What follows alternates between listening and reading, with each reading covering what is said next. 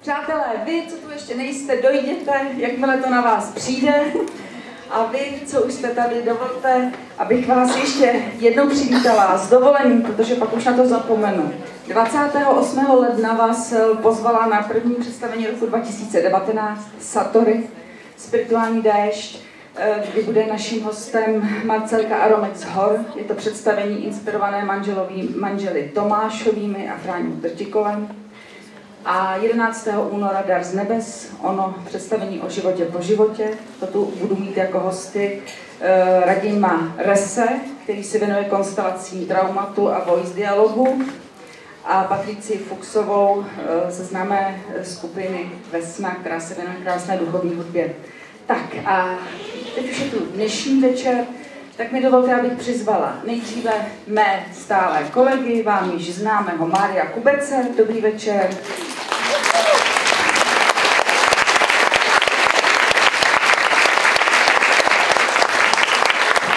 Patrika Ký.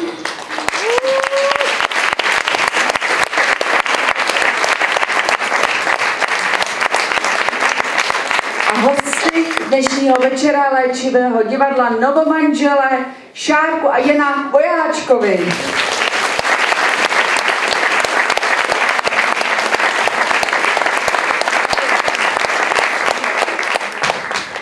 Usedněte mi, přátelé.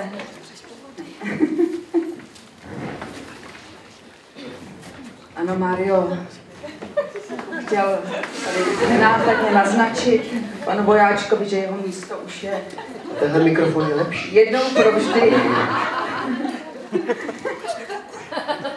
vedle jeho ženy. nefunguje. No tak Už to funguje. Teď co je krásné, my když jsme se domlouvali na tom, jestli manželé Vojáčkovi e, přijmou pozvání do divadla, tak ještě nebyli manželi. V té době jsme dokonce vytvořili pozvánku, kde se každý jmenoval sám. Šárka byla konečná a už není konečná. už je Vojáčková. Konečně. Konečně Vojáčkovi, je to jiné, Šárko, když jste byla konečná a jiné teď, když už jste konečně Vojáčkovi. Je to stejné, bych řekla. Řekni, jak to bylo s tou knihou. Že nabízejí jméno konečná ještě. Tak tady, milí přátelé, tady to je důkaz, ano, protože Šárka, tak tím vám ji také představím, Šárka Vojáčková, eh, Šárka původně konečná, napsala knihu Deník moderní jogínky, čímž jste si zajisté všimli, že Šárka, kromě toho, že je spisovatelka, je především jogínka. Eh, Můžete ji najít v jogovně, v krásném místě na Václavském náměstí, lépe řečeno ještě ve Štěpánská Jindřišská Jindřišská. A e, to místo je opravdu kouzelné. Já jsem si také u vás na Joze e, si to užít a je to tam moc krásné. No a tedy, vy jste se nedomluvili, jak to teda bude. Prostě tahle ta knížka je ještě vaší minulostí a teď budete muset napsat nějakou společnou knihu, abyste to napravili. No ona vycházela právě 14 dní před naší svatbou, takže tam bylo takové dilema, kdo tam vlastně na ní bude. Vyhrála konečně. No, ale, tak, ale je vidět, že jste se ve výsledku na jméně domluvili, což se v dnešní době moc nestává. Dnešní doba trochu přináší to, že žena se nechává svoje jméno, muž si jde s tím svým a pak je snadnější se i rozpojit a rozdělit, zatímco vy jste hrdině šli do jednoho jména, možná to je také proto, že jste z Moravy. Není to tím? No my olomoučáci, my jdeme do té rodiny a plno. Ale uh, my jsme, já jsem trochu zaspal start, takže Emička, naše dcera, byla dřív, než jsme se vzali. Tak to jste asi nezaspal, to jste naopak jako No jo, vlastně. byl poměrně probuzen. A protože Emička byla vojáčková, na tom jsme se dobrovolně domluvili, tak eh, jsme chtěli udělat klan, jsme chtěli uzavřít a tak jsme se stali všichni vojáčky. No, ale je vidět, že vám to vyloženě doma jde podle řádu, i když mám trošku pocit, že si nejsem jistá, kdo tam u vás doma velí. Tak jsem jenom vojáček, nejsem voják. Jste viděli, že jsem přišel, měl jsem prakticky vyplej mikrofon, takže... tak to vypadá u nás doma, no. Já se snažím něco říct a je to vyplý pořád.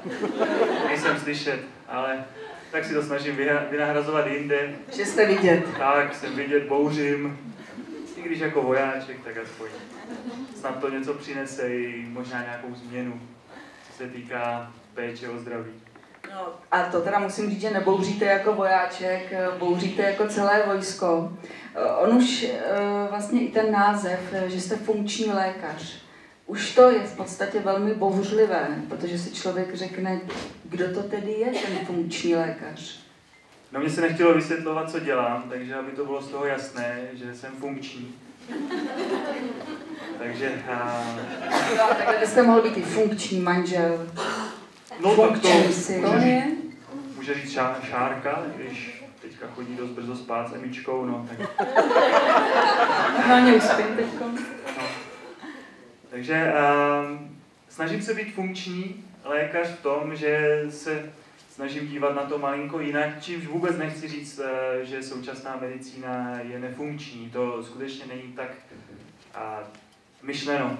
Je to jenom o tom, že uh, si myslím, že jak tady krásně i padlo dneska při tom nádherném, teda moc děkuji za to představení, protože tam padlo tolik zásadních informací, které de facto a se realizují do těch našich denodenních životů a já potom mám možnost vidět, jak se realizují na našem zdraví, pokud, eh, pokud nejsme funkční. A to se dneska velmi často děje a ten náš současný přístup v, v léčení nemocí je z mého pohledu příliš úzce zaměřený, příliš redukcionalistický, příliš příliš biologický, příliš vědecký a to je to de facto, proč to schytávám, protože se pohybuju na určitém pomezí a proto jsme často považováni my, kteří se na to díváme trošku jinak za, za pseudovědce a, a šarlatány a tak dále, jak můžeme dneska často slychat. A to je ten neustálý soubor, souboj mezi rozumem a citem, mezi srdcem a naší myslí a a de facto je to souboj o naší duši. A to je to, a, co dneska si vlastně nikdo z nás neuvědomuje. Že naše cesta životem je cesta naší duše. A my jsme de facto odpojili tyhle dva světy. V dávné minulosti to bylo dáno tím, že bylo velmi silné náboženství a to mělo de facto v nadvládě duši a duchovno a proto medicína, když se začala vyvíjet jako věda, jako biologická věda, tak si nechala jenom to tělo. A v tu dobu se vlastně jsme se odpojili a ten přístup v léčbě se odpojil a protože de facto dneska my nejsme úplně silně věřící lidé, co se týká České republiky a nějakého náboženství, tak nám de facto nezbyla ta cesta té víry něco v naší duši, duchovno. A teď se k tomu snažíme jak si vracet a zároveň propojit to ještě s tím, co kdysi bylo odpojeno. Tedy to, co se týká našeho zdraví a po případě postupně vznikajících neduchů a nemocí. Takže dneska to vypadá jako dva zcela jiné světy. Dneska žijeme nějakým způsobem života, kde se cítíme postupně tak, jak se cítil Vladimír ve hře, a de facto vůbec nemáme tušení proč a přicházíme k těm pánům bohům, což jsou ti lékaři, kteří to mají vědět nejlépe, protože jsou na to studovaní. Jenomže oni si vzali jenom tu jednu část. Oni si vzali jenom to tělo, jenom tu biologii. A ta duše a to srdce tam vůbec ne, nehraje žádnou roli. Ještě nějakou miniaturní roli, roli tam hraje naše psyché že se vlastně nakonec řekne, může za to stres, to máte ze stresu, který má dneska každý. Takže já se snažím propojovat znovu to, co bylo odpojeno. A to je velmi složité, protože uh, velmi těžko se dá propojovat v dnešním světě rozum a cit. Ale myslím si, že to za to stojí. A přesně tak, jak za to stojí poslouchat takovou hru, jako jste dneska odehráli, protože umění je něco, co nám může to spojení znovu pomoci navázat, kromě přírody. To bylo krásné.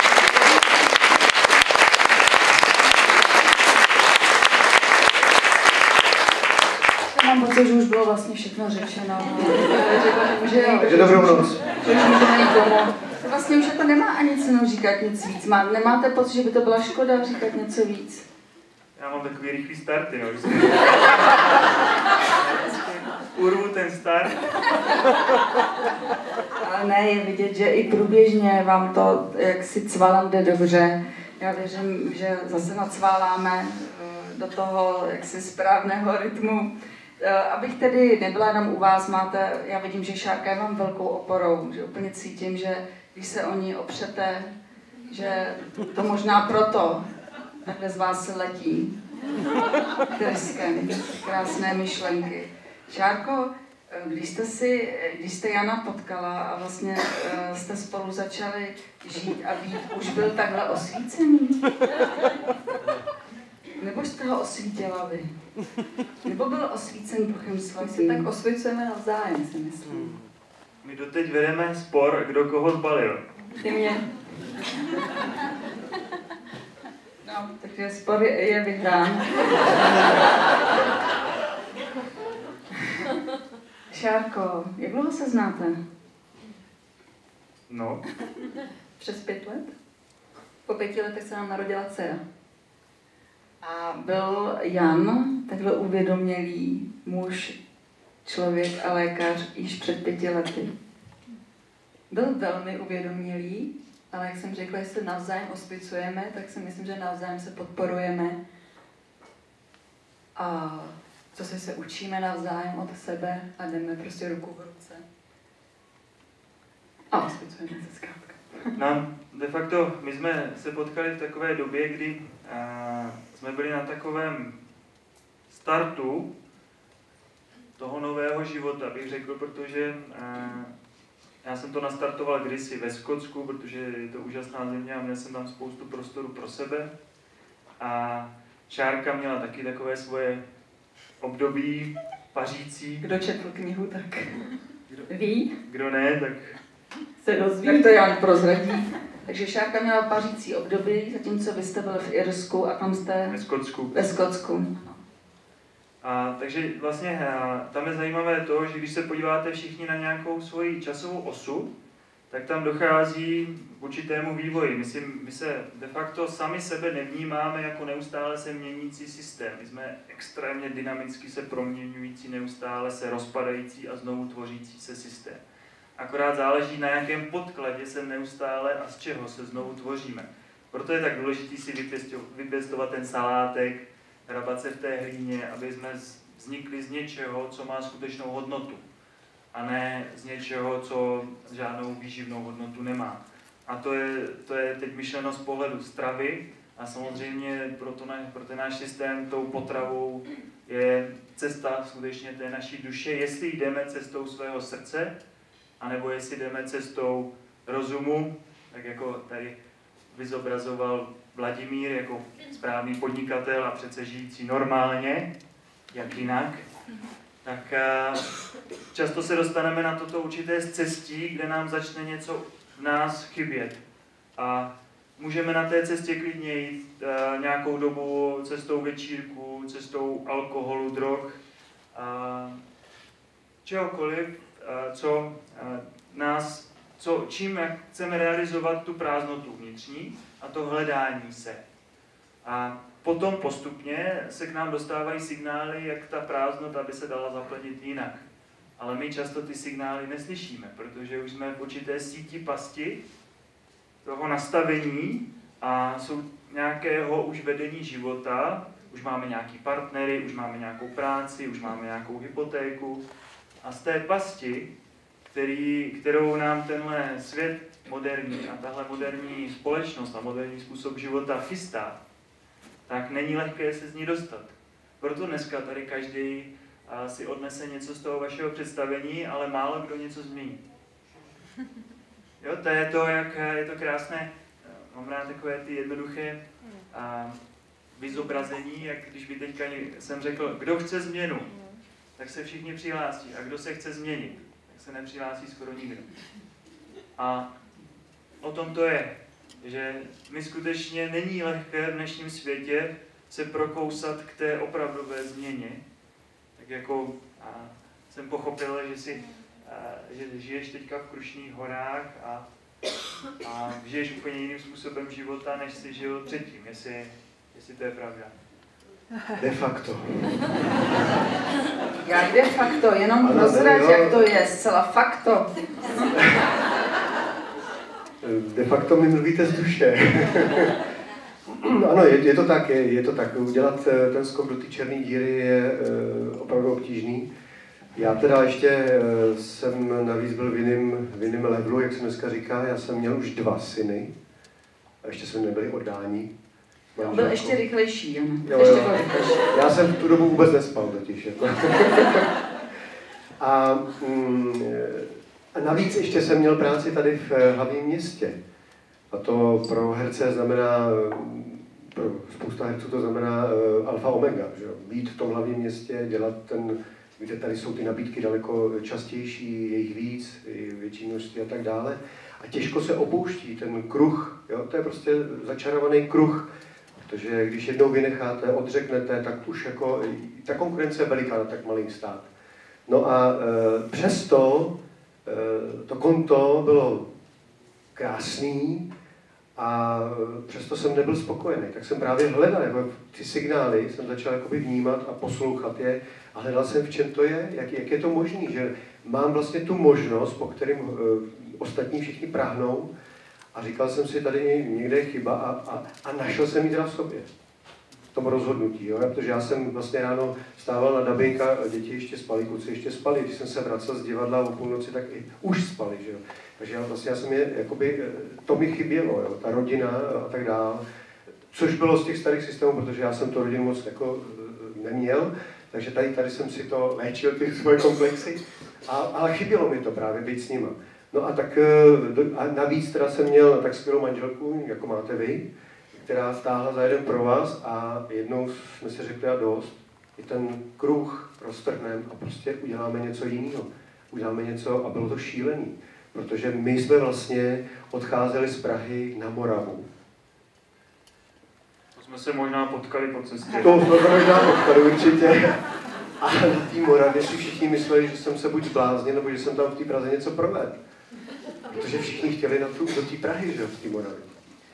No a jsme za to rádi, že jsme ten skok do té černé díry ještě s těma dvěma dětskama tenkrát, teď už máme tři, že jsme udělali protože nám to otevřelo oči a začali jsme žít úplně jiným stylem a, a vlastně děláme pořád tu samou práci v podstatě, ale pod jiným úhlem pohledu, takže bylo to úžasné a jednoznačně, jednoznačně. A právě takový to, eh, ty semináře a povídání a, a školení a takové ty věci, to je krásná věc, taky jsme na ně chodili, taky jsme se obohacovali a, a čerpali jsme ty vědomosti, ale přesně jak říkáte, jo, Eh, ty lidi sedí na tom zadku, ale aby ho zvedli a šli teda to šít, tu změnu. To chce velkou odvahu.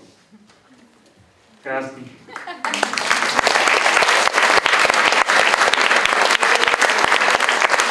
Můžu k tomu jednu drobnou poznámku.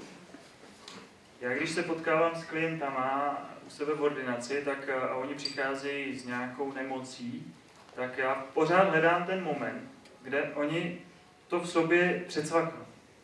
Protože pro mě to je de facto ten zásadní moment, který rozhoduje o tom, jestli ten člověk dál bude pokračovat v té cestě své nemoce, anebo jestli se uzdraví. A pořád proto se vyptávám lidí, jestli si pamatují ten moment, obzvláště u těch uzdravených například, nebo u těch, kteří udělají nějakou změnu ještě předtím, než onemocní třeba, co je ten moment, že to nakonec, že to nakonec udělají. A jsou tam určité zatím dvě charakteristiky, nebo tři. Jedna je, že nakonec si to dovedli představit. V okamžiku, kdy si nedokážete představit změnu, nemůže se stát. Takže tam velmi pomáhají právě samozřejmě každý člověk má určitou schopnost jinou vizualizace, ale lidé, kteří si dokáží lépe představovat, má Šárka výborný, zase vždycky něco představí, já to zrealizuju. Jakou nás doma,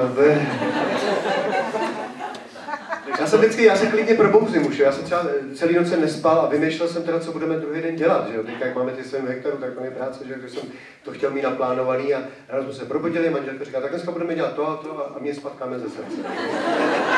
Do té doby už nemyslím. Máme to, máme to jednoduchý. A, takže to je jedna věc, umět si to představit. Druhá věc je nebýt na to sám.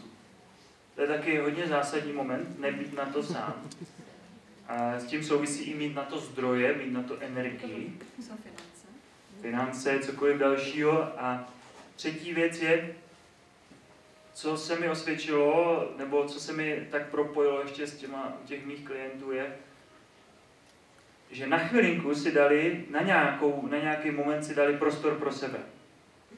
Nějak vypadli z toho systému. To, co já jsem třeba realizoval ten rok v tom Skotsku, tak oni třeba udělali v nějaké krátké verzi, že často jsou to rodiče, pracující samozřejmě a tak dále, takže nemůžou si dovolit vypadnout na rok. Ale někdy pomohl třeba i víkend sám. Víkend sám pro sebe. A vědět, že se vrátí, nebudou na to sami a zároveň během toho víkendu si to byli schopni představit. Tak eh, to je třeba za mě moment, který se tam propojoval v to, jestli ten člověk nakonec de facto na té hraně to dal nebo to nedal.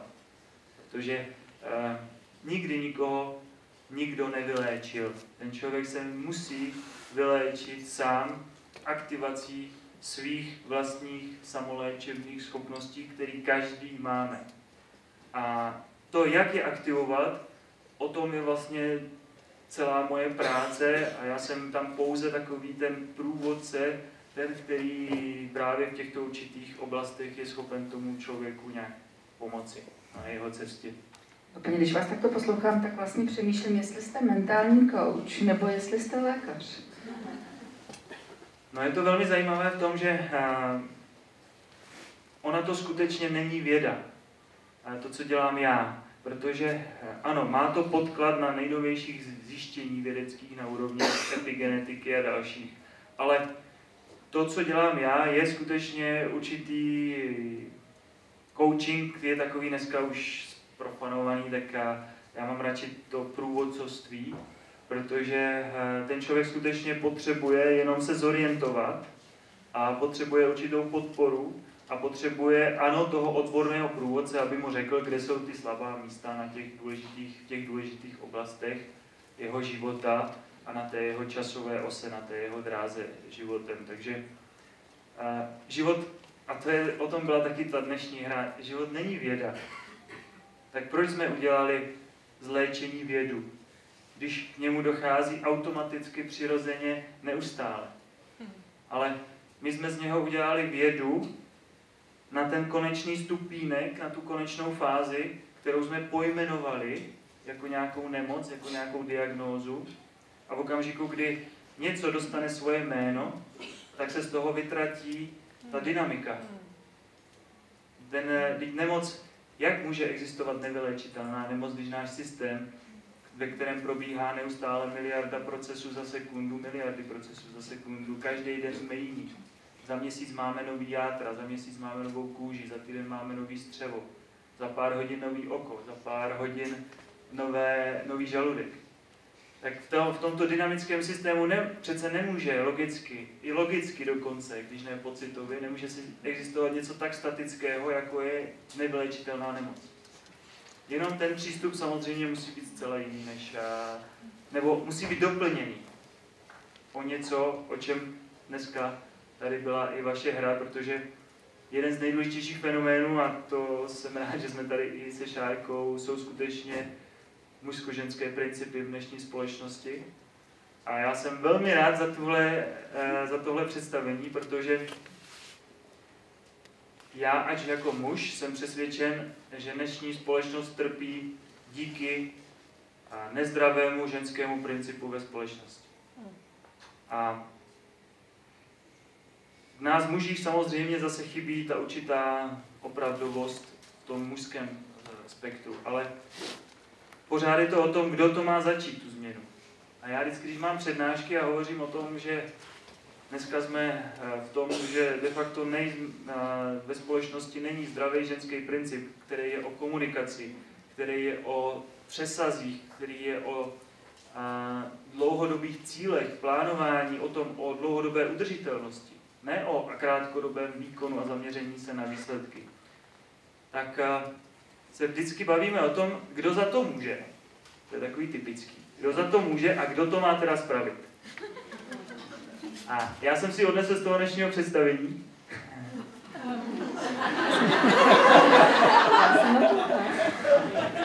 že my jsme prostě takový Vladimírové. A my potřebujeme prostě tu Anastáziu. Prostě my potřebujeme a, tu vědomou ženu, to vědomé ženství, který nás může, protože my jsme takový jednodušší druh. Jo, my jsme úplně jiný živočišný druh. A jsme velmi jako prostí oproti vám ženám. A my potřebujeme to jako takové jemné vedení. Zároveň, aby jsme jako měli pocit, že to jako... Že to, jako... to jemné bych potrh. ne, že bych na to tlačil. Zároveň, aby jsme měli tak jako pocit, že tam jsme pořád ti králové, že my to rozhodujeme. Ale zároveň, aby tam prostě bylo to skutečné vedení tou zdravou ženskou silou, která může zaručit to, že prostě a jednoduše tu planetu tady nezničíme. Protože my, jak jsme jednodušší, a, má, a prostě my a je, prostě jednoduše chceme jenom ty krátkodobé cíle, prostě něco, něco zhrubat, něco vytěžit, prostě zabít mamuta, přinést ho domů na rameni, jo. Já bych ještě jenom, že ti skáčel do řeči, Klidně. bych jenom eh, řekl, aby to nebylo jako, že jsme nějaký jako to, ale eh, té jednoduchosti je síla a krása.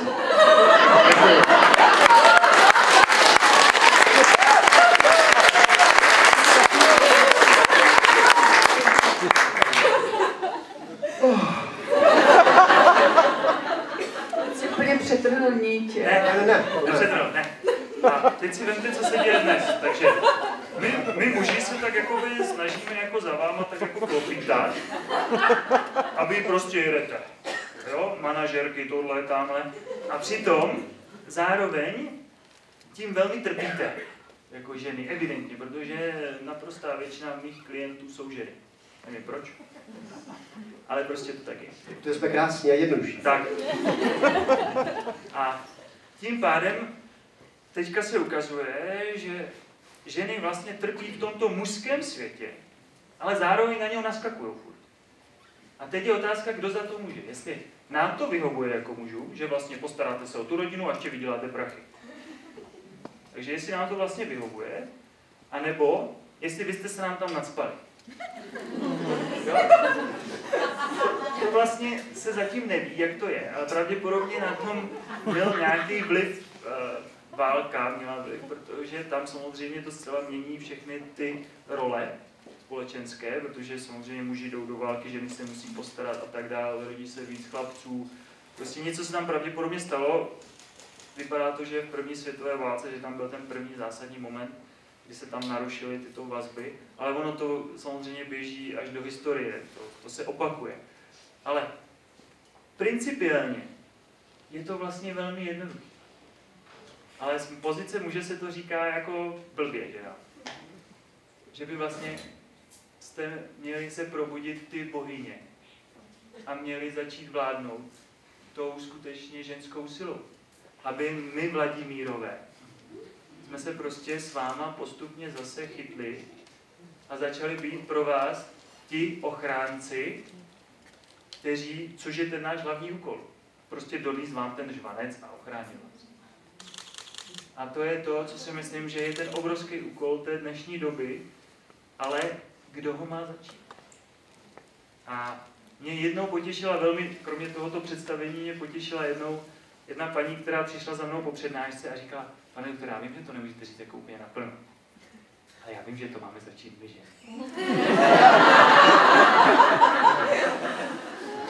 Takže já bych si moc přál, aby tady všudy přítomné ženy si odnesli hlavně z toho dnešního představení. To, že jsou bohyně a že oni sami sebe často sráží a pak jsou sráženi dál. V tomhle systému, pak svýma partnerama. A výsledkem toho je, že destruujeme tenhle svět. Takže já jako muž, a doufám, že s náma bude zachova, za, zacházeno jemně, tak si přeju, aby se uzdravil ženský princip. A my se o to snažíme ve svém vztahu. Protože Šárka pro mě je ta bohyně a já prostě chci být pro ní ten ochránce. Seš. A chci to realizovat tak, že ty její představy se budou naplňovat. Protože já si nemyslím, že to je o tom, že žena má doma sedět a vařit jenom. Ne, naopak, žena má obrovskou schopnost představivosti. A my můžeme být ti realizátoři, ale realizátoři nového světa. Ne tady tohohle, kde nekomunikujeme jeden s druhým, kde se rozpadají veškeré vazby, kde nefungují vztahy, kde už nemůžeme pomalu ani rodit děti, protože je obrovský, obrovská incidence neplodných párů, kde se rodí děti do párů, který jsou nefunkční, který vlastně ani ty děti nechtějí, nebo těma dětma řeší svoji krizi a tak dále. A to není svět, který si myslím, že můžeme žít. Já si myslím, že můžeme žít úplně jiný svět. Ale že je potřeba, aby jsme samozřejmě obě pohlaví k tomu přispěli, ale já si myslím, že se musí něco změnit v ženách.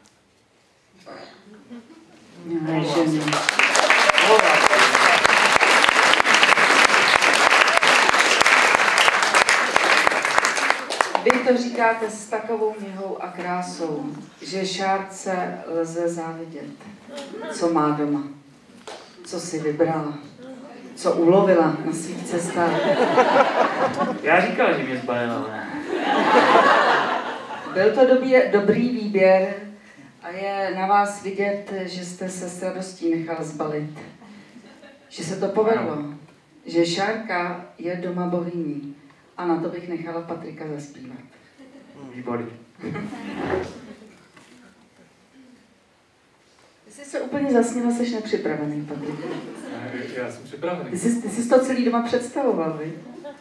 No, my jsme si dneska o tom, nebo spíš já jsem psal silnice dneska asi 90 SMSek, ale tak jakoby uh, takové vždycky ty důležité věci, že jsem se snažil vyzvednout, nebo vyzvihnout.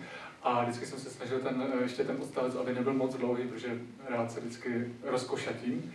A tak jsem jí psal takové, protože jsem se jí zeptal, eh, ona chtěla znát můj názor na to, co se jí teďka děje. A pro mě to bylo opravdu, pro mě to bylo něco, co, co Ona to samozřejmě, samozřejmě ona to neřekla takhle, jo, že já jsem se jí zeptal, můžu ti k tomu, můžu ti na to něco říct, jak to cítím, ale musím jet, takže ve taky napíšu jakože zprávu nebo zprávy. No, vlastně takhle to vzniklo a tak jsem moc rád, že, že se to všechno takhle propojilo. A já bych, eh, mě to inspiroval teďka k tomu, že bych teďka zkusil takovou improvizaci právě na, na tu na tu krásnou spolupráci toho mužsko-ženského principu. A každý si tam samozřejmě můžete najít to své. A myslím, že jo, jo, že, že to bude. To bude. Já taky věřím, že to bude. Já bych s dovolením ještě vrátila slova z Anastásie. Když ženy pokopí své předurčení, promění podobu země, přemění ji v kvetoucí zahradu boží touhy.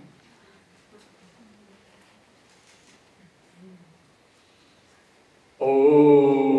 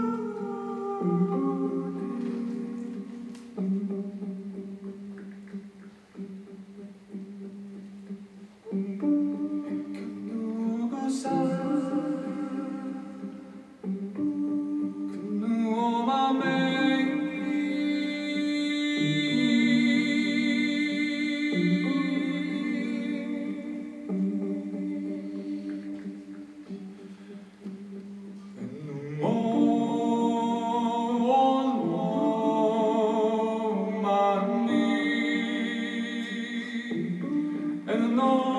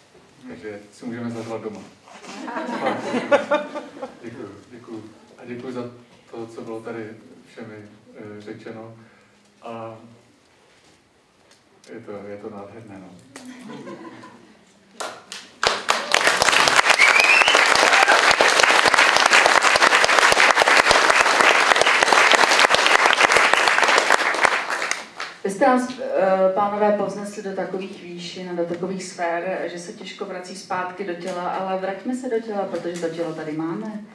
O to tělo je třeba pečovat, že je to tak. A věřím, že Šárka je vám doma velkou inspirací jako jogínka. Předpokládám, že takové očistné praktiky vám nejsou cizí, že taková šank prakšalána, očista střev, či příjemné zvracení slané vody po ránu. E, určitě patří k vaší rodinné jaksi, zábavě, ne, Šárko? Jan už to chtěl hned vysvětlit, ústa má plná, tak říkejte. Já už bych bez toho ani nedošel do práce. Bez pořádného výplachu. Tak Šárko, vyjádřete se, jak to u vás jde? No já musím říct, že očistné techniky předtím, než jsem byla těhotná, jsem dělala pravidelně. Velmi pravidelně přenášela mi potěšení a když jsem otěhotněla, mi bylo natolik špatně a vracela jsem i bez toho, že bych se musela projevat slanou vodou. A od té doby ty očistné techniky nedělám. Protože e, například Jala Netty, prolivání e, nosu slanou vodou, každé ráno nám podporuje spoustu věcí a zároveň člověk lépe cítí a více cítí a já jsem nechtěla moc cítit věci kolem mě. Museli jsme se i přestěhovat, si chtěl říct jistě. Ano, protože ten byt přestal vonět, Doslova. tak se musel najít jiný. A další a další. No děti chci tři, takže dvě stěhování je ještě před námi.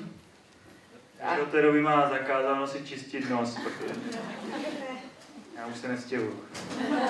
A dobře, a jak se teda dotýká jí tyto očistné praktiky vás? No, bohužel dotkli se mě zásadně párkrát do míst, který jakoby bych nerad. Ale stalo se to a musím říct, že to bylo fajn. Ne, opravdu ono, tato historie očistných technik, o kterých by lépe mohla hovořit Šárka, tak má obrovský význam.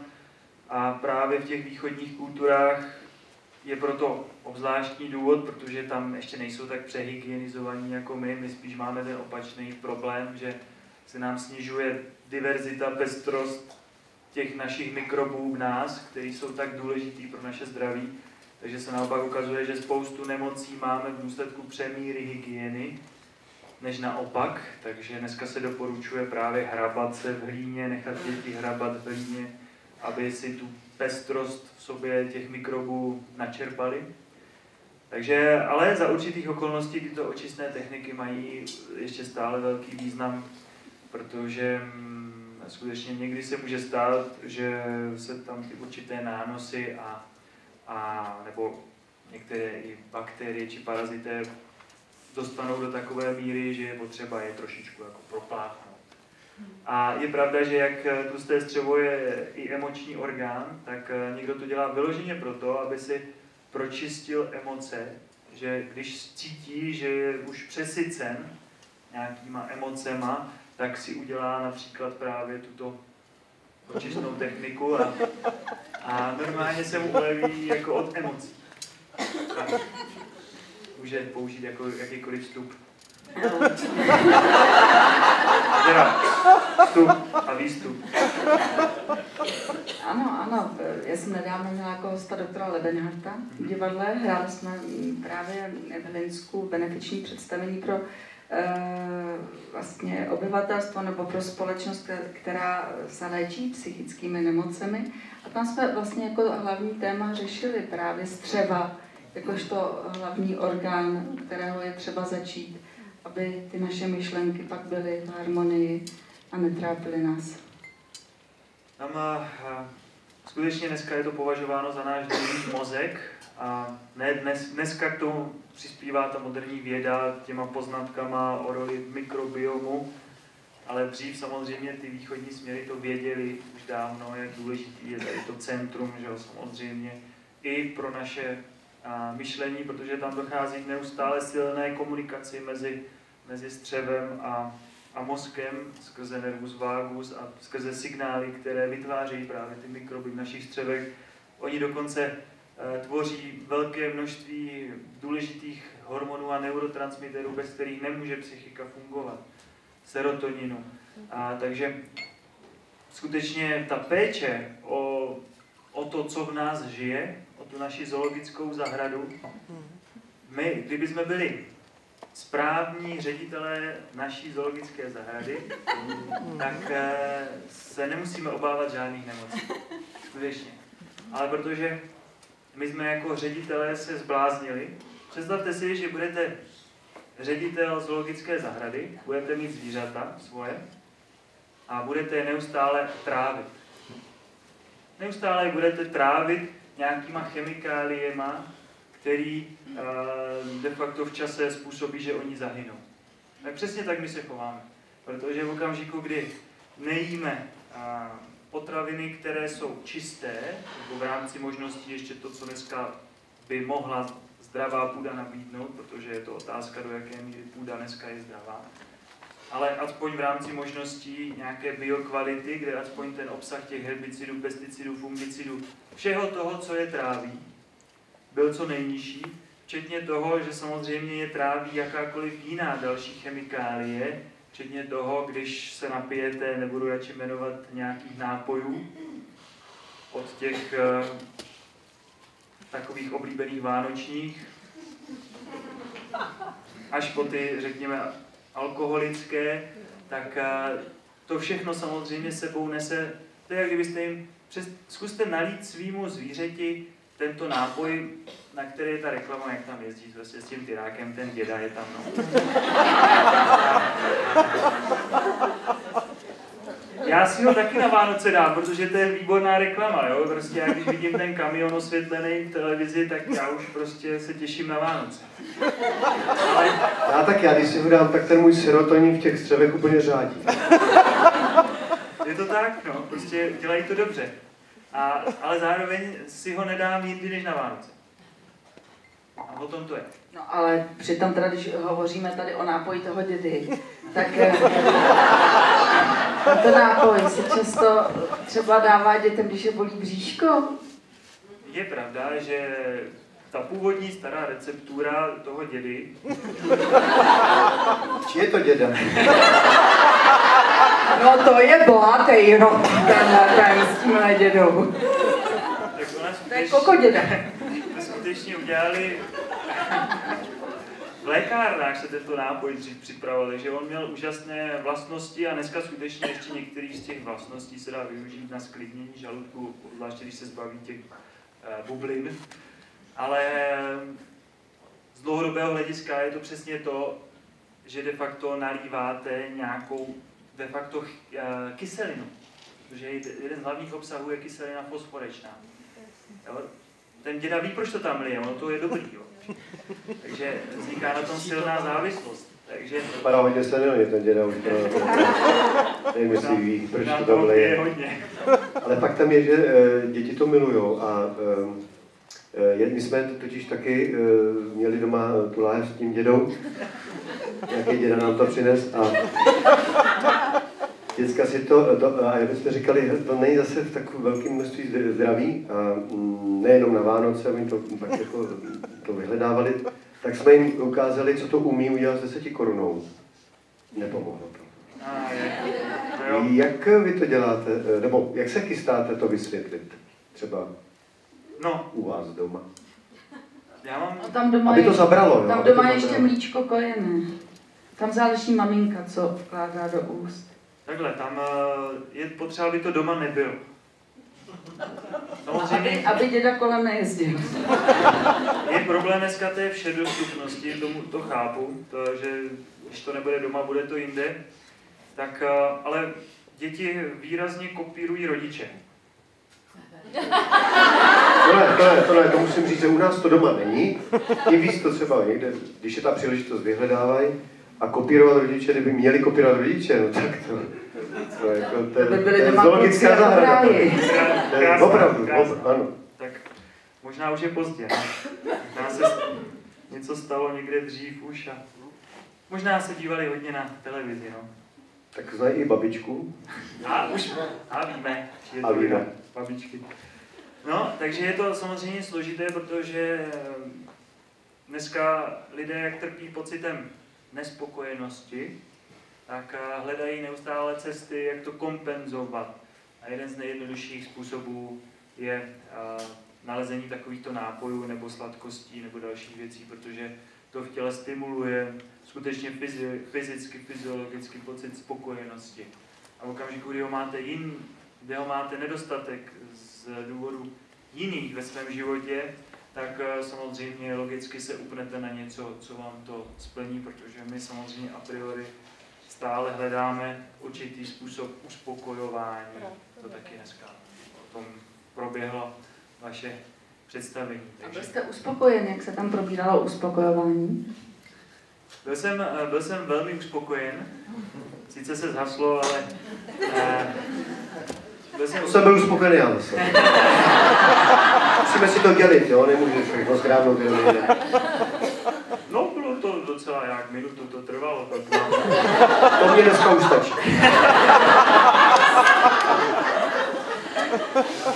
tak a, skutečně to vědomé, například početí, o kterým tam padla řeč, tak je extrémně důležitý a my se Šárkou si třeba přesně pamatujeme, kdy vznikla Emma. Protože já jsem jí to řekl.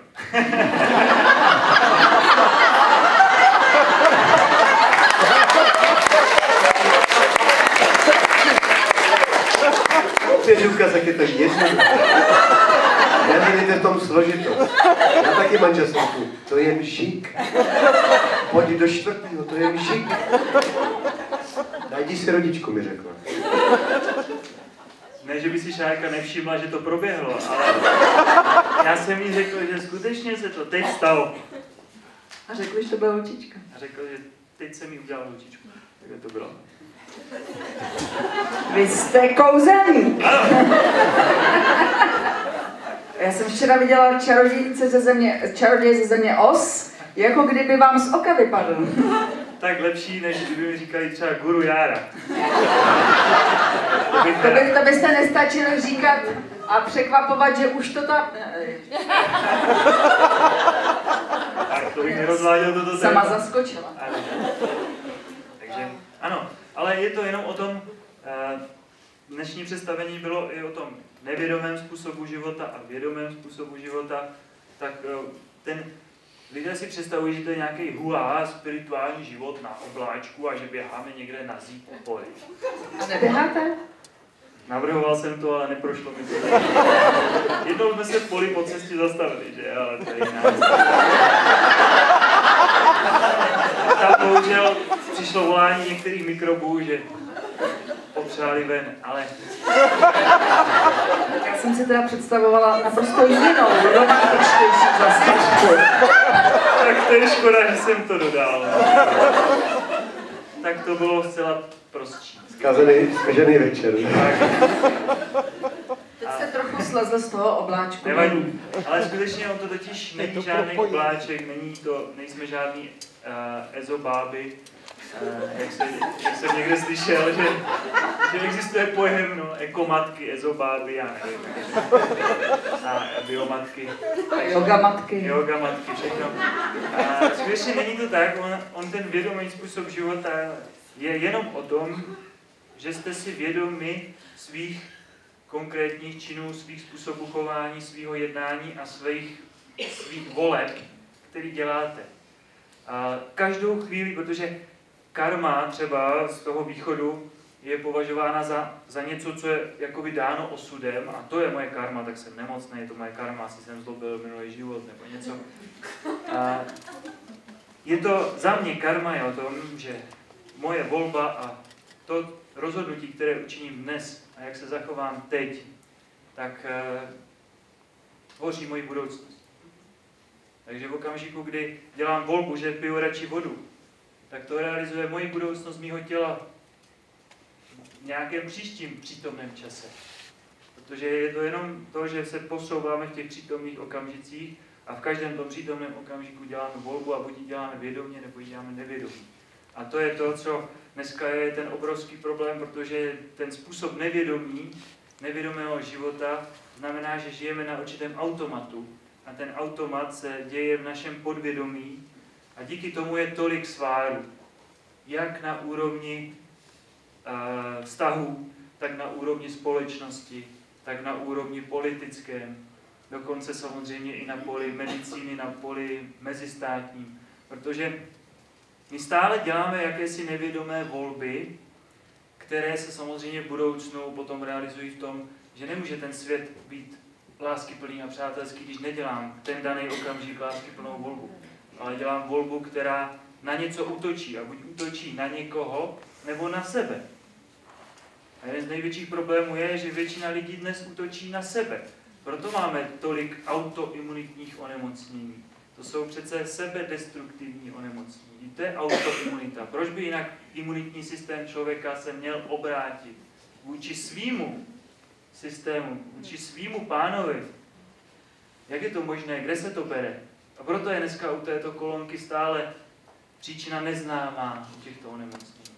No protože se hledá zcela jinde, než by se měla hledat. A to je ten rozkol eh, duše a těla, mysli a těla který je potřeba znovu, aby se spojil. Ale každý z lidí to dneska může začít dělat tak, že začne konat vědomé volby, rozhodnout se, co činí dnes, protože ví, že za to sklidí zítra nějaké ovoce. A to je, to je karma. Takže karma a dharma znamená, že žiju podle svých vědomých voleb a s plnou zodpovědností přijímám, co to bude znamenat v budoucnu.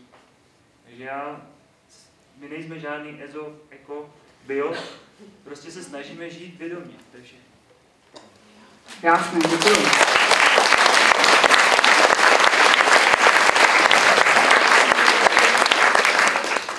Říct, že to je velká radost vás poslouchat a myslím, že si zase zasloužíte takovou odměnu eh, pro oko i pro sluch, pro vše. A já teď s dovolením možná trochu i překvapím Patrika, možná trochu i vás. Eh, můj muž také jednou věděl, že vědomně se něco činí. Říkal, bude to holčička. Já jsem říkala, to bude chlapeček. Byla to holčička. Tak Patriku, poprosím tě, zpívej a má holčička se přidá k tobě časem. Tam se, jo. Dobrý večer.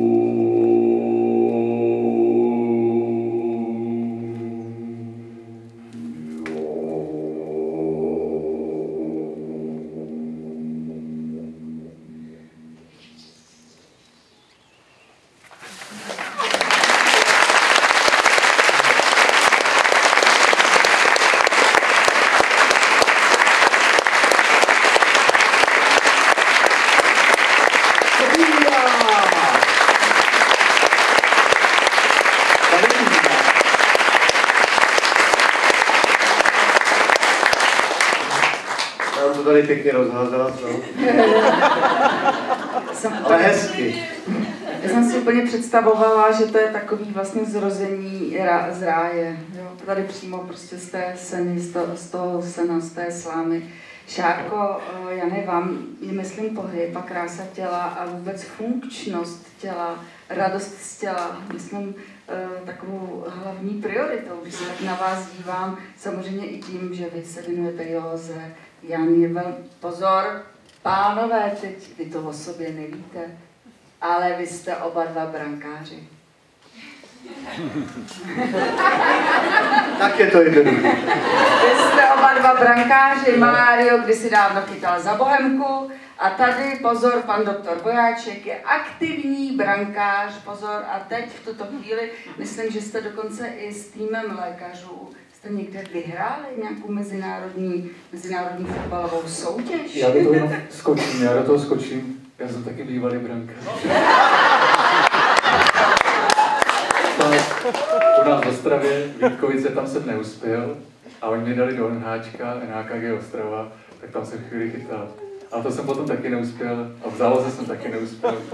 A šel jsem radši, šel jsem radši dělat řecko-římský zápas, tam jsem taky neuspěl. A Jak to s tvojí postavou? No, protože jsem si, ano, ano, přesně tak, tak jsem začal dělat bojové sporty, tam jsem jako uspěl a tam začala ta cesta nějakého prozření, no, meditace první a to. Ale brankář, byl jsem brankář, takže kluci. Máš z nás nejlepší postavu na to. Um, jo, jo. Jakože zaplní celou branku, To mi myslíš? říkali, Vysoký, to mi vysoký. říkali, no, tak. Jsme vyhráli mistrovství světa lékařů ve fotbale třikrát za sebou. Letos jsme byli druzí, druzí vlastně tady v Praze. Ano. Tak to je, to je hezké, ale už moc aktivní nejsem teda. To už ne. Ale tak na těle to znát není. No to, to doufám. Proč se díváš na mě, já jsem taky už dlouho nečekal. V tvém těle to také znát Od té není. doby, co jsem viděl tu nemoc, tak už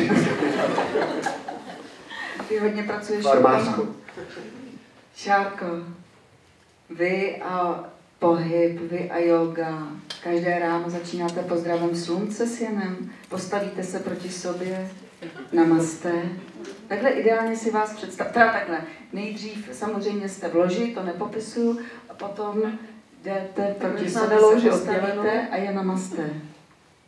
V tuto chvíli máme loži oddělenou, on zaspí na sedačce, já spím s Emičkou. Emička já se spí tam takhle. nevejdu. Pak se tam nevejdu, on se tam prostě A bude hůř. se tam rozplácla prostě a... Honzo, já takhle už čtyři roky. Jo. Jsem vedle v pokoji. Já chráním u vchodu. Já To je jsem pravda. Na gauči u vchodu, kdyby něco, jsem tam. Ale to je dobrý, že jste, ale to je dobrý, že jste pořád uvnitř. Mario, Mario, ten je venku, ten je před barákem. V létě, v zimě. Proto on chce do jemných zacházet. Jak jste tady mluvili o těch ekomatkách, tak my jsme dlouho na svém pozemku spali na karimatkách. Venku? Venku? Slušný. Ale to je dobrý, to je dobrý na imunitu. Narek má taky. No my to, my ty rána, takhle, já to, tohle, tuhle iluzi rozpustím. Já tak jako se procvičím tak možná nějaké ra, ranní vody, a, ale řekni ten Magic ten, ten je dobrý. Moje praxe teda už není pozdravy slunce, ale je to Magic Ten, což vychází z tradice Jivamukti Yoga a je to na 10 minut cvičení, kdy to jde od psa hlavou dolů, skrze další pozici, stojí na rukou až do stojných pozic a má to hezký název Magic Ten, jelikož je to magické a je to 10 minut, které si věnuju každé ráno. Emička je ohrádce. Ježíš teď řekla, že máme ohrádku, Jarda nás za... Ale bože. Já říkala, že řeknu něco. Ale jenom pro Magic ten má tam Ano, jenom jenom pro snad Magic jasné. Je to z přírodních materiálů.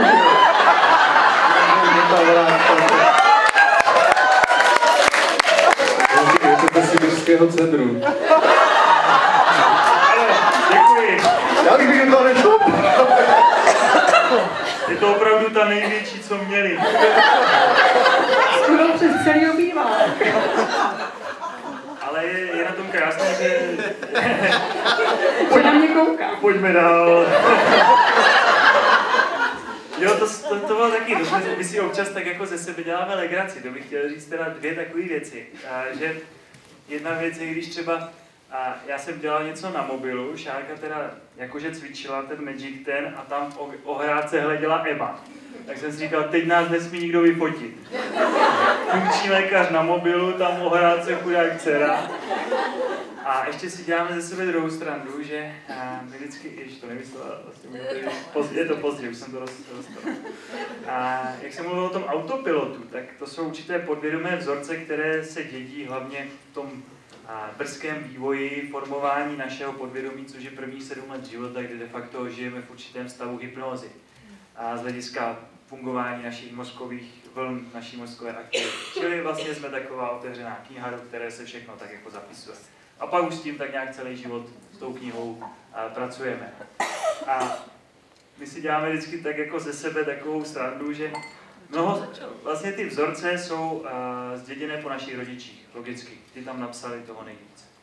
A uh, můžete se sami přistihnout, že se prostě jednoduše za určitých situacích chováte jako vaši rodiče. To tak je. A my si vždycky děláme srandu, že můj otec má specialitu, že máma celý dopoledne vaří, on tam přijde do solitu a řekl, že to celý vaří. tak já vždycky šárka vaří a přijdu, nějak to dodělám a řekneme si, a vaříme s Petrem. Protože můj táta je Petr. Takže to, je, to jsou takový, dá se na tom hezky zvědomit i ty svoje vlastně vzorce, které jste si zdědili od svých rodičů. A že skutečně se přistihnete že mluvíte stejně, jednáte v těch situacích stejně. A teď záleží jenom, jestli je to teda od táty, nebo od mámy, nebo od někoho, kdo vás vychovával. A je to zajímavé, je to z hlediska toho, když vám ty vzorce samozřejmě by a priori nějakým způsobem škodili. Ve vašem vztahu, ve vašem životě. Šli by proti vám, říkali by vám, že nejste dost dobří, že nemůžete dělat tohle, že tohle nezvládnete. Nebo že ten druhý může za to, že jste nešťastní a, a tak dále a že vy máte pravdu, on nemá pravdu. A Prostě jednoduše se můžete nachytávat v tom, jak tyto vaše podvědomé vzorce fungují, protože zásadně rozhodují o tom, jestli budete zdraví nebo ne, jestli budete šťastní nebo ne. A proto je to velmi důležité se na ně podívat a zvědomit si je. Zase, je to, není to o ničem jiném, než o tom zvědomování si toho, protože to není tak, že bychom si dělali legraci ze svých rodičů. Já si samozřejmě rodičů velmi vážím a jsem jim vděčný za život. A jenom je, jde o to, že samozřejmě za určitých okolností máme v sobě určité zátěžové vzorce, které oni si neuvědomují, že nám předali a můžou nám a, de facto v životě házet klacky pod nohy. A to je potřeba si zvědomit a s tím zvědoměním s nima pracovat, protože se dají potom vlastně přenastavit tak, aby ten váš život fungoval. Typický je naprosto, když člověk je v nefunkčních stazích. Vemte si, jdete do jednoho nefunkčního vztahu, rozpadne se do druhého, do třetího. To není otázka toho, že na světě jsou jenom blbci, který potkáváte zrovna náhodou. To je otázka toho, že něco ve vás, v tom vašem naladění, v tom vašem nastavení, eh, vám přitahuje určitý typ osobnosti, který v konečném důsledku vám to spojení přestane fungovat protože a, velmi zajímavé je, že naše ego jede na těchto programech a my si hledáme velmi zrcadlově, podo, zrcadlově nastavené partnery. A jenom záleží, do jaké míry a, je tam splynutí nebo není, protože čím víc tam je určitý rozkol a napětí, tím dřív nebo později ten vztah má tendenci se rozpadnout a nebo naopak, když je tam spojnutí příliš velké, tak z toho vztahu se stane taková určitá nuda. Takže tam nejdřív potřebujete si zpracovat svoje vlastní ego, svoje vlastní programy a pak máte šanci, že si najdete adekvátně doplňujícího partnera. A to je velmi důležité, protože to je vědomý proces. My jsme to neudělali úplně, myslím si, vědomě spolu, ale dobrá zpráva je, že když jste si toho partnera nenašli vědomě původně, tak se na tom potom dá pracovat. Že si ho můžete dovědomit. Sami sebe a pokud má ten druhý ochotu na sobě pracovat, tak se posouvá s váma, nebo sám se taky posouvá, takže můžete jeden druhého pozitivně ovlivňovat, když ten druhý se tomu nebrání. Dneska je velký problém v tom, že jeden třeba z těch partnerů, nebo v tom takzvaném sociomu, o kterým často hovořím, což je tento prostředí, kde se realizují ty vaše vztahy nejbližší, tak je velký problém, že v tom sociomu, který byl nastaven nevědomně, se vy probudíte naraz. Vy naraz se zvědomíte. Ale celý ten sociom je nevědomý tak jste ve velkém problému. A to musím říct, že je jeden z hlavních problémů u mých klientů. Protože v okamžiku, kdy ten člověk žije nevědomně, tak samozřejmě dřív nebo později, nebo většinou dojde k nějakému typu chronického onemocnění, zvědomí si to a naraz potřebuje udělat uvnitř toho prostředí určité důležité kroky a změny. Ale on často se tam zvědomí sám. A přijde domů a má tam toho nevědomího partnera. Má nevědomí rodiče. Má nevědomí přátele. Četí jedou na tom automatu, toho materialismu, toho výkonnostního spektra. Na tom, na tom Vladimírovi jedou. Že? Tak a to je to de facto jedno z těch nejtěžších věcí, proč se lidé nevyléčí častokrát. Protože oni si tu změnu svoji vnitřní nedovolí, za prvé. Za druhé na ní nemají často energii protože jsou na to právě často sami, nedovolují si to představit a tak dále, co jsme si řekli. A když už tu změnu začnou dělat, tak ti ostatní do toho, mu do toho začnou házet klacky pod nohy, protože se začnou cítit v ohrožení. Že naraz se vám ten partner začne tak jako měnit. Co se to jako děje? Není v nějaké sektě. Jo, a začne se, a to, to je úplně typický, a tohle si ten člověk musí ustát, protože jinak nemá šanci se uzdravit. Takže proto říkám, že stačí častokrát, když na sobě pracuje jeden v tom páru a ten druhý mu dává na to ten prostor a například jenom sleduje, co se děje a tak jak jakoby se tomu přizpůsobuje. A to je taky hezká cesta. Takže uh, není jednoduché pro lidi se probudit z toho nevědomí, do světa, z toho nevědomí si to zvědomit do světa nevědomí. A nejtěžší to je skutečně to v tom svém nejbližším sociu. Kdyby, kdyby vy jste v tom nebyli spolu s tou ženou, no tak se špitli. My jsme si tam dole začali a já... No, protože já jsem myslel, že eh, vás znám. Můžeme si klikat. A teď tak jo, no. Protože my jsme si tam dole tak nějak... Teď to zvědomil trošku.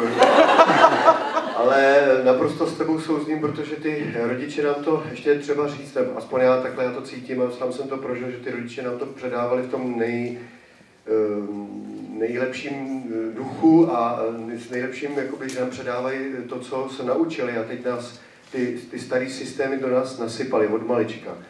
To je jedna věc, takže to mysleli dobře. Když si tohle člověk uvědomí, je to zase jednodušší změnit ten svůj postoj a zvědomit si to.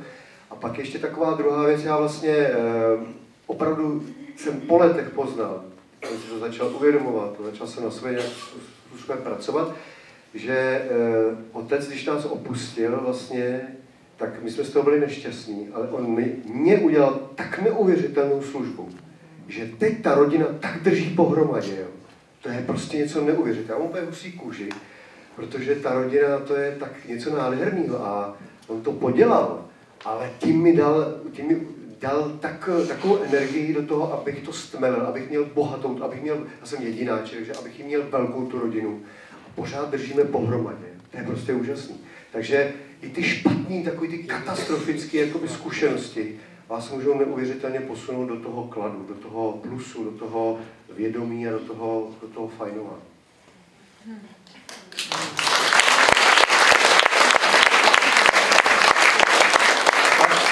Pak přichází další ten bod B a ten bod B je, že my jsme skutečně těmi svými rodiči. Prostě oni jsou součástí nás. A někdy se stane to, že může se stát takováto nepříjemná událost. A ten bod B je, plný přijetí a odpuštění tomu otci. Jo, protože to je velmi typické, že a, v okamžiku, kdy nejste schopni odpustit přestože udělali cokoliv a může to vypadat, že to nelze odpuštění udělat, tak de facto eh, bojujete proti nějaké své části. Nejde se zřek, zříct svých rodičů a svého rodu. Nejde, protože vy jste ten rod. Vy jste ti rodiče. Nelze být zdravý a neodpustit a nepřijmout rodiče. Prostě to nejde. Z mýho pohledu to nejde, protože a, vzhledem k tomu, čemu věřím já, tak já věřím tomu, že ti rodiče jsou, že my jsme ti rodiče, my jsme ten rod. A já tím pádem nemůžu být naštvaný a v odporu proti nějaké své části. Je to velmi typický pro některé typy onemocnění, že tam došlo k nepřijetí některých z rodičů, protože objektivně udělali něco, za co si to odmítnutí jakoby zaslouží samozřejmě. To často říkají lidi, jak já můžu odpustit tomu agresorovi, tomu alkoholikovi, tomu, že nás opustil, když jsme byli malí a tak dále. Já nevím jak. Já nevím jak. Já jenom vím, že pokud se to nepodaří, tak ten člověk má v sobě neustálou zase tu sebedestrukci k nějaké své části, která je tvořena například tím mužským principem, což ten mužský princip vlastně vytvořil ten předobraz toho táty. Takže a, ten bod A je ano, dá se z toho vždycky něco samozřejmě vytěžit, dá se to využít k žití vědomímu, stmelení rodiny a tak dále. Ale pak jsou ty další body, které musí následovat proto, aby ten člověk byl zdravý. A bez toho to, bez toho to nejde. To je jenom takový dovětek, to já nebudu... To s tím souvisí, pochopitelně. Protože ten problém nás je a tam živíme ho a ten vytváří potom nějaký ten psychický stres, který se vyvrcholí v té nemoci. A my vlastně vůbec nemusíme mít kontakt s tím rodičem. A to je, to je další paradox, jo? A to se pak snadněji odpouští. Tak. Může se snadněji odpouštět, ale je paradoxní je to, že někdo řekne, já jsem ale s ním 20 let nemluvil, takže to není už problém. Ne, to žije furt na úrovni podvědomí, to žije furt, protože kdokoliv vám, jakákoliv situace vám připomene toho otce a vy vůbec nemáte tušení, že se jedná o situaci z vašeho podvědomí, která je podobná situaci, která se děla, když třeba váš otec nebo něčí otec byl ještě doma, tak se to znovu spustí. Znovu se spustí ta reakce stresová. To znamená, je úplně jedno, jestli ten rodič už nežije, anebo není s váma v kontaktu. To je jedna z velmi důležitých cest k tomu, aby zase člověk mohl být zdravý. Je to jenom takový postřeh. Já, já moc děkuju. Tady vlastně vy jste v podstatě odpověděl i na dotazy, které jsou eh, ten náš večer, my jsme to zapomněli říct, ono to je celonoční představení. Jestli jste to doma uh, jako sdělili. Máte Pane doktore, já vím, že ráno jdete pracovat, tak ne, tak my se teda umoudříme a, a jak si ukončíme zavčas. Tady byl dotaz, abyste popovídal o funkční medicíně, některé se věnujete, z čeho vychází, co lidem nabízí. Já myslím, že celý večer jste hovořil o funkční medicíně, co lidem nabízíte, odkud vycházíte, kam vcházíte. Co vychází, co vychází. Je to takový koloběh neustálý všeho. Eh, funkční medicína princip zjednoduším, zrychlím velmi eh, rychle. Prostor na člověka, pochopení jeho příběhu a pochopení fungování jeho fyziologie, čili jsou s tím spojeny určité testy, které identifikují, co se v té fyziologii změnilo, ale zároveň je tam kladen důraz na to proč. A to o tom proč bylo dnešní představení, bylo naše povídání, je to o životním stylu, je to o tom, co se nám děje v naší mysli, je to o tom, co se nám děje v našem srdci, je to o tom, co se děje v našem prostředí, ve kterém žijeme, tam se realizuje, tam, tam se odehrává to proč. A to, jak se to potom projevuje na fyzickém těle, to je moje práce a funkční medicíny, to znamená identifikace toho, co se tam změnilo, že nakonec to vyvrcholilo v nějakou zdravotní potíž. To je už ta moje odborná práce a zároveň tohle potom syntetizovat v to, aby jsme hledali s tím člověkem, jak to napravit. Jan Vojáček.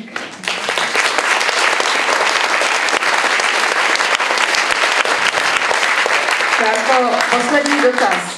Doma taky mlčíte? Ne, právě, že doma je to naopak. Já jsem si myslela. se to užívám, že Honza doma mlčí a já to neustále mluvím doma. My Honzu pozveme Já si to častěji. užívám. Já jsem si to myslela, že to bude právě tak. A já jsem nesmírně vděčná i za to, že jste přišli spolu a že jste eh, tady vlastně mohli v tom svém zájemném bytí eh, i projevit a ukázat nám, eh, těm, kteří jsme tady toho součástí, že ti Vladimírové a Anastázie mohou žít eh, ve vzájemné lásce v jakémkoliv prostředí.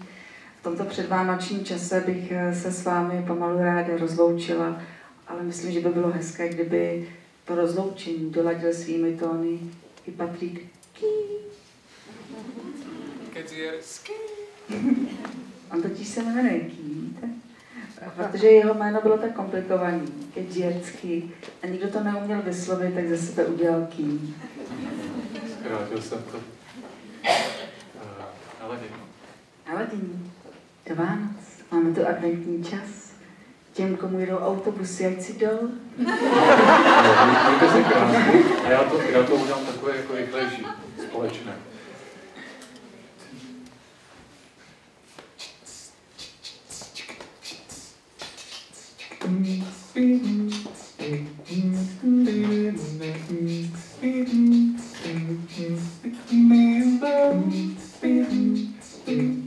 Už